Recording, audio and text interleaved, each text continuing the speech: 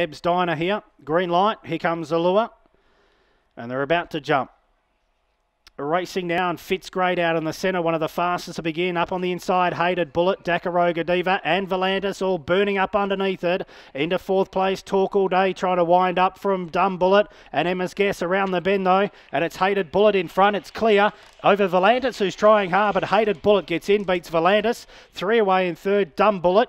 And fourth, I think Dakaroga Diva holding on to that spot in front of Emma's Guess, who was further back uh, along with Fitzgrade, who was out the back again today with King Nahas, who was one of the last in, and 17.36 the time.